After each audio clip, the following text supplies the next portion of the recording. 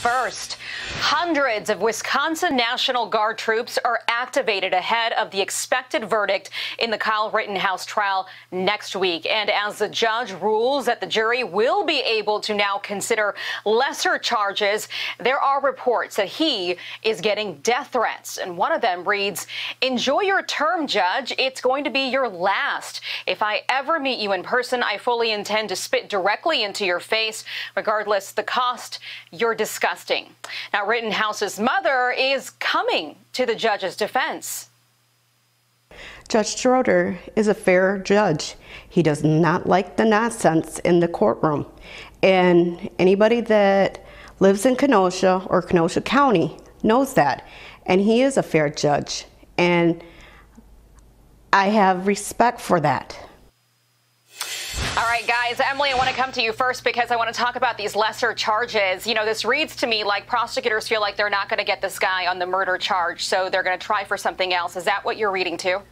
Right. I think that's a, a, good overarching takeaway from this. And keep in mind that the more charges that are thrown at the jury, the more explanations, the more complicated it becomes, then the more confused they are. And frankly, the harder it is to come to a seamless consensus decision for Kyle Rittenhouse. And this is what I want viewers to understand. First of all, if prosecutors seek those lesser convictions, then a life sentence is off the table. And what was going back and forth between the judge and prosecution and defense are lower charges on both the initial initial murder from intentional homicide down to a lower degree, meaning that yes, he feared his life was in danger, but it was an unreasonable use of force. And the second decrease was in regards to the endanger, the reckless endangerment homicide. And that is essentially, or actually, that wasn't the homicide, it was the shooting. And that was that there was no utter disregard for life regarding the reporter that was standing behind the victim there. So there's a lot to go into for these juries, but I think that what remains to be seen is how the prosecution will seek these actual charges.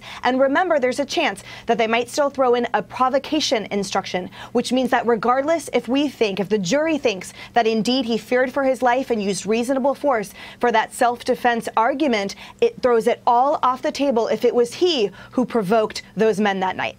Okay, we're going to see what happens in the next uh, 48 hours here. He should come out with something on Monday. Uh, Sean, there has been so uh, so many outside opinions on this case. You know, people like LeBron James this week got a lot of heat because he was pretty much making fun of Kyle Rittenhouse, saying that he was being fake on the stand when he was crying. CNN's Don Lemon seems to think that the judge is being biased, calling him, um, uh, saying that he's treating Kyle Rittenhouse as if he's his grandson.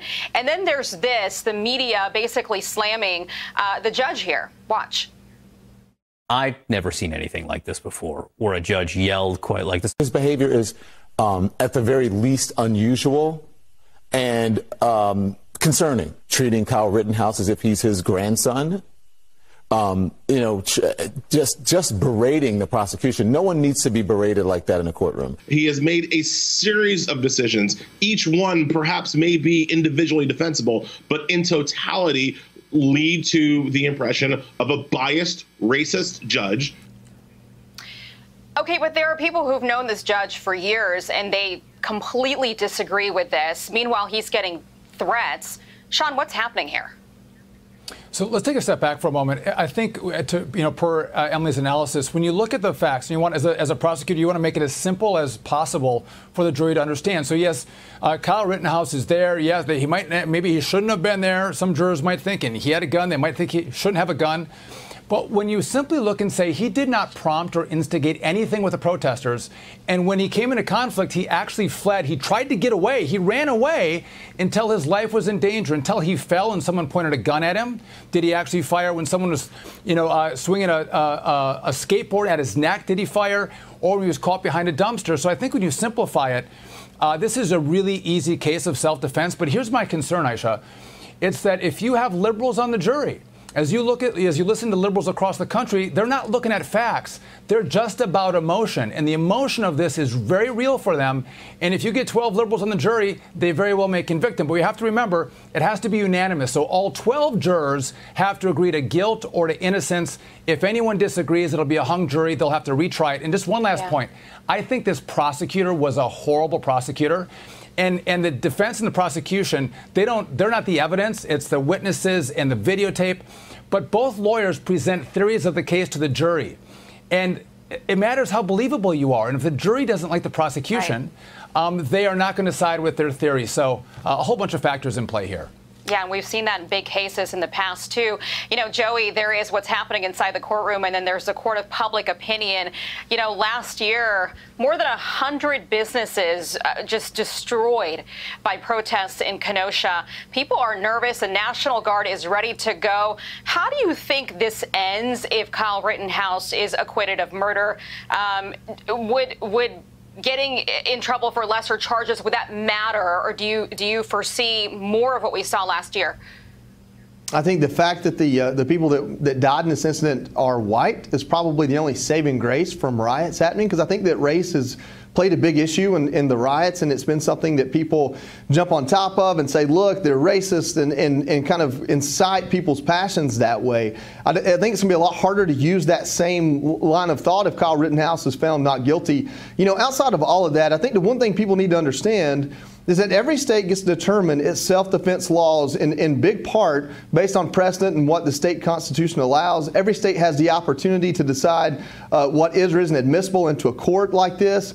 And I think at the end of the day, what people need to need to do, what I'm most worried about is if Kyle Rittenhouse is found guilty on, say, a provocation clause in this court case, what the judge is trying to do is narrow this down to the two or three split seconds that actions happen and were they were they justified in that moment? What the prosecution is doing is they're conceding that, that they probably were justified in that split second and that's why they're going to intent and that's why they're going to provocation and everything that led up to that moment what I don't want to happen is for the people in that in that state to lose their self-defense rights based on rights based on case precedent because this has become such a big deal, and the jurors may be influenced by outside media like Don Lemon or the President of the United States calling this man a racist before he ever went on trial. I think he made a lot of stupid decisions, and as a Second Amendment supporter, I definitely don't want people to go act the way Kyle Rittenhouse did leading up to that moment.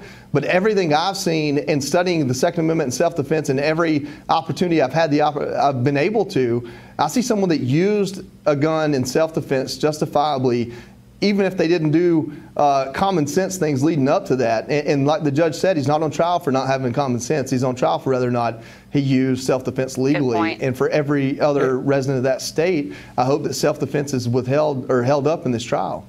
And Sean, really I, quickly. Let me make one last point, though. Yeah, yeah. I, well, just so, just you know, so, so Governor Evers said he's going to call it the National Guard, right? That's a good thing, so we don't have rioting. But what happened in Wisconsin is Kenosha was burning for days, and Governor right. Evers didn't do anything. I was, exactly I was right. talking to the president and his team, and, and we're begging Governor Evers to send the National Guard and snuff this out. If Governor Evers had done his job, there would be no riot, there would be no case, there would be no death. And frankly, Evers should be on trial, not Kyle Rittenhouse.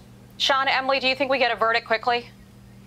Yes, I, I do. do. Mm-hmm. And I think it's going to be for one of those lesser charges. I foresee yeah. the reckless endangerment, the lower second degree version, and that is a maximum of 10 years in prison with a misdemeanor of All having right. that gun, which is nine months, but yeah. he will serve a lot less. Okay.